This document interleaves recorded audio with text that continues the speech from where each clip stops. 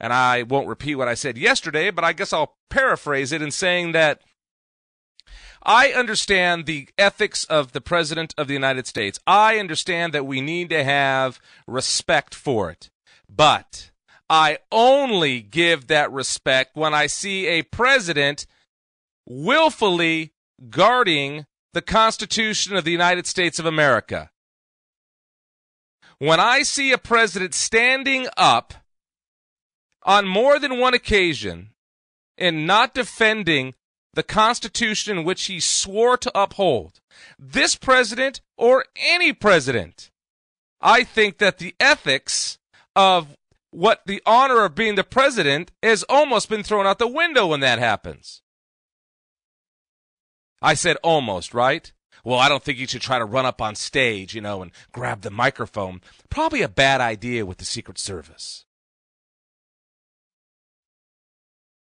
But the fact of the matter is, folks, you have to earn respect. Yeah, see, the seat of the President of the United States is something that obviously should automatically have respect. But when you have presidents, you know, I mean, how many times have you heard, I did not have sexual relations with that woman? He's looking at the camera. Lying. Bold face lying. They disrespect the seat of the President of the United States of America by having sex in the Oval Office. That's just one example. Current example is by doing things that are obviously in our face against the powers that the president has. An overreach. Our founding fathers warned us of tyranny. Our founding fathers warned us to the point that we have a Second Amendment, that we have the right to have militias. Why did they do that? They did that, ladies and gentlemen, because they knew someday when you talk about freedom and you talk about America and you talk about having a pretty open society, you talk about a Christian nation and a Christian nation, listen, turn the other cheek, right? When we say those things, all those things, you, you, you, you take them and you add them up. And what do you have? You have a society that's normally very relaxed. Uh, when I say relaxed, I don't mean you don't see bad things happening. But Christians are taught to turn the other cheek, give people the benefit of the doubt, forgive them, all that stuff, right? Allow them to repent, whatever. And unfortunately, the people who are not good people or the people who are against this country, they use that uh, against us. And there's been a big deal going on, and I even got pushed back on a little bit. I listened to a lot of people that said, Yeah, man, I agree with it completely what you said, Craig. But I had some people say, You know what, Craig, you're a little hard. You know, you, there's a respect to the, pre- to the seat of the presidency. I agree. But it's up to the person who's the president to keep that respect. It's up to that person to use the dignity of that seat, okay, as a leader of the free world. When they when they put their hand on the Bible, first of all, do they believe it? First of all, we have to ask ourselves this question. Do people actually believe what they're saying when they put their hand on the Bible and they raise their hand and they say they swear to God to hold up what the Constitution says in this country. Because if they don't, it doesn't matter.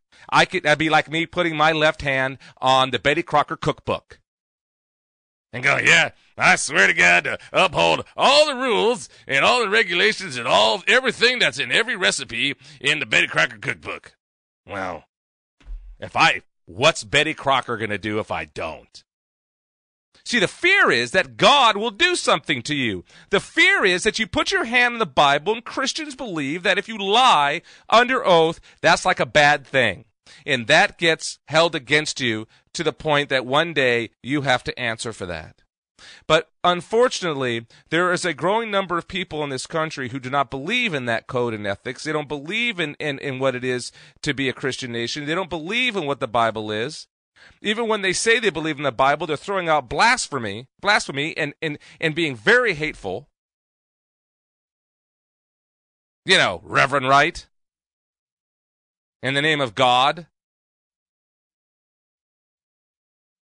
So I'm saying all this. I'm going to play in a moment the video, excuse me, the uh, audio of what I'm talking about from yesterday, and I know you've heard about it. Sean Hannity had the guy on who actually did the, I don't call it heckling. It wasn't heckling. He asked a question at the wrong time. And do I believe he's double, you know, he's covering his steps? Yes, I watched it. He's covering his steps. He's saying, you know, I was trying to guess when the president was done speaking. I, mean, well, don't do that. Just say, listen, I'm, I mean, I'm fed up because the president doesn't take questions. I said he acts like a king. I said on the air yesterday that, that it's like a peasant. He treats the people like they're peasants. He treats the Constitution like it's not even there. See, I don't want a president that constantly makes me have to go to the Supreme Court to figure out if what they did was right. I don't want to have to get to the point that numbers in multiple states by the dozens push against what the president's doing because it's being found in their mind by all the different attorney generals. Greg Abbott was on uh, on Greta. Isn't that interesting that this show has the same powerful people on it that Fox News has? Isn't it interesting that people like Greg Abbott and Alberto Gonzales was on? He's been on the Craig Bushon show. And I work very hard to do that because you need to know right here in the state of Texas, right here are the most powerful capital in the United States, what's going on. So this show is equal to the heck, I can spend more time with them. I just had Ted Cruz on. He was on Sean Hannity. He was on uh, Laura Ingraham. He's been on, uh, I could go on. Greta Van Susteren, maybe eight minutes. He was on for twice that long on this show. That's powerful. But yeah, sometimes I push back. Sometimes I push back at these people when I see things that are obvious in our face, like overstepping the bounds of the presidency.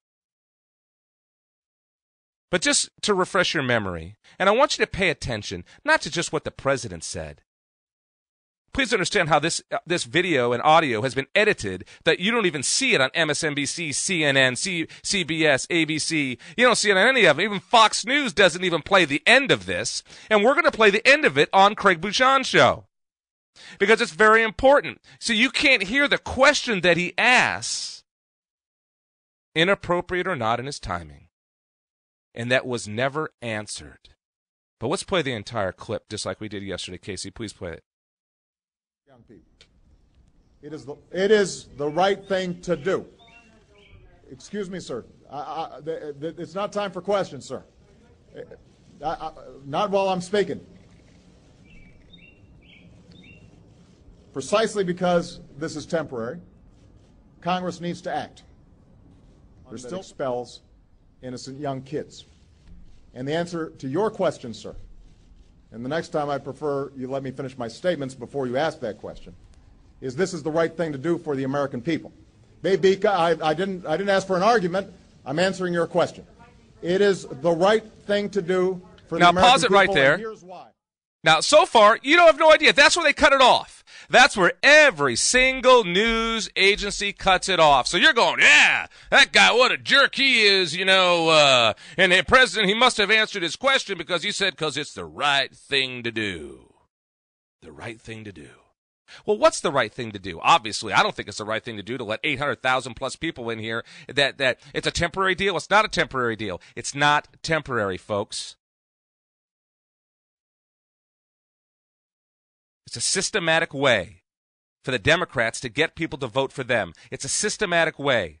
You know, listen, when people are down and out and people are desperate, they're going to do whatever they need to do to stay in the game. And you're going to have a substantial amount of those people eventually, I believe, one day, uh, be able to vote. Because that's the direction it's going. That's the direction it's going, ladies and gentlemen. If you don't think so, my God. But you don't know what he was asking. And at the end, right here, right now, you will. Go ahead, Casey. These young people are going to make extraordinary contributions and are already making contributions to our society. All right? Thank you very much, everybody. Specifically ruled this out, sir, last year.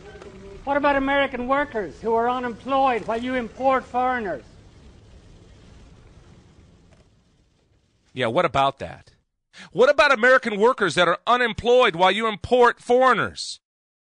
When you allow 800,000 people to soak up jobs because they're nice. Because they're nice people. Listen, uh, if I was if I was Mexican from Mexico, I'd be like, yeah, rock on. That's awesome. And and my heart goes out to him. I I get man, living in Mexico must suck. Really bad. If you're running over here uh, and and trying to stay and having anchor babies and doing all this stuff. I think it's the 14th Amendment we have to look at now. The 10th Amendment, forget that. Sovereignty or each or the state having its individual rights within the union. yeah, sovereignty. Yeah. I've been quoted to say that this presidency, this president's one of his goals, and it's not just him. He didn't get there on accident. You don't go from never having a job, going to Harvard, never having a regular job, going into government, and then going from being a governor, excuse me, from being in the government and being getting up to a freshman senator, and then you're the president of the United States of America. It doesn't happen. It does not happen. It only happens when there's a machine. It only happens when there's a system in place. It only happens, folks, when there's something going on. When there's something going on below the current, below the feet that we stand on, that underbelly of something that we just don't, we can't get our finger on that pulse. How does this happen? They take advantage of us being disengaged. And the one thing we have to understand is at the end of that video or that audio, what is said.